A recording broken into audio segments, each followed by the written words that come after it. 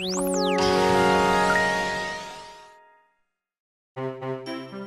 I'm Dhroneis and welcome back to the channel. If any of you played Minecraft for many years, you may have heard of a popular mod for the game called Pixelmon. It essentially adds Pokemon into the game with randomly generated gyms, villages with a Pokemon Center and store, items from the mainline series, new biome dimensions that replicate the Ultra wormholes from Generation 7, Pokemon with custom skins, and of course, the monsters themselves. It baffles my mind that this mod has been around for 10 years. Just knowing that fact is a reminder that my lifespan is quickly draining away. Over the years, Pixelmon went through several updates that slowly turned into what it is now. It was even DMCA'd by Nintendo themselves at one point before being revived by a new dev team. But one thing people noticed is that the better it became, the more the art style deviated from Minecraft's aesthetics. Now I'll take whatever it currently has over what it used to look like back in 2013. It's just that the models are highly detailed and a proof of the developers pouring blood, sweat, and tears into making them. But they feel out of place within Minecraft and it's something I would see in Roblox instead. So what if I told you that there's a Pokemon mod that not only looks good, but every model was designed to fit directly into Minecraft? A mod that looks like something Mojang would add to the vanilla version of the game. Well that mod in question is...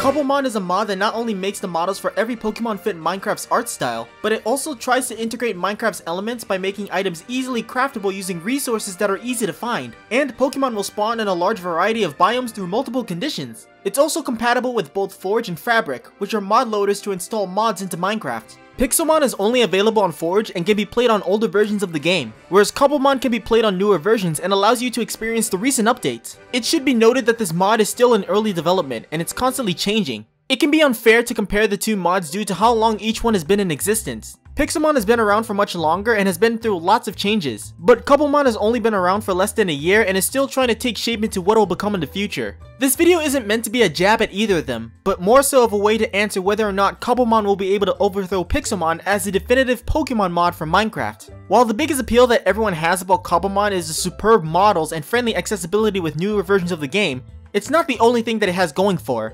Let me show you. When you boot up a new survival world, you are asked to press the M key to choose your starter Pokemon. Immediately you'll notice that the Johto and Paldea starters are missing, but with more updates, I'm sure more Pokemon will be added in. Initiating a battle starts by throwing a Pokemon at the enemy and it'll bring up this pretty looking GUI. Fight to see your Pokemon's move list, catch to use Pokeballs, switch to use other party members, and the run option in which you have to physically run away from the battle for it to work, which I think is cool. Also, you can move while battling by pressing the R key to get better perspectives. As you traverse the world, you'll notice that some Pokemon have unique animations for idling, sleeping, and fainting. This alone feels more personal to the player and gives the monsters more life to them instead of just having one idle and walking animation like Pixelmon. Of course, not every Pokemon has its own animations, as some of them are static and slide across the floor, but that's to be expected for a new mod. Some other perks that Cobblemon has over Pixelmon are a Legends Arceus type of evolution and moveset process where you can choose which ability your Pokemon can have at any time, a friendly user interface that lets you check a party member's IVs, EVs, base stats, friendship levels, and much more. Baby Pokemon can be placed on your shoulder with some of them giving you specific benefits when placed, like Pikachu and Pichu giving the player speed 2, allowing you to run fast, Zubat and Pidgey giving you Feather Falling 2, which gives you the ability to slowly descend from high places, Joltik can give you Haste 2, which lets you mine resources faster,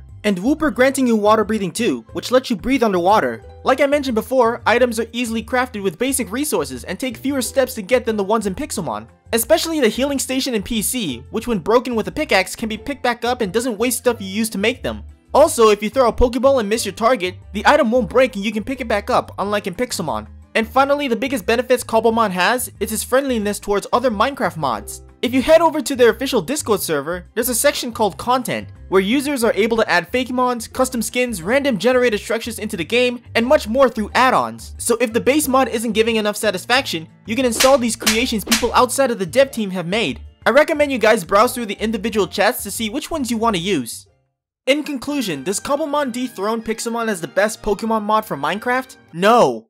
At least not yet. While both mods are fun to play, Cobblemon is already on its way of being a better and more artistic version of Pixelmon. Despite lacking in content, it already found a way to stand out on its own while maintaining a high quality and cool experience that anyone can get into. It still doesn't have stuff that can only be added through add-ons as of this video, like trainer battles, random generated structures, HMs or TMs, none of the gimmicks from generation 6 to 9, and you can't ride any Pokemon that can swim, run fast, or fly. But honestly, that's okay.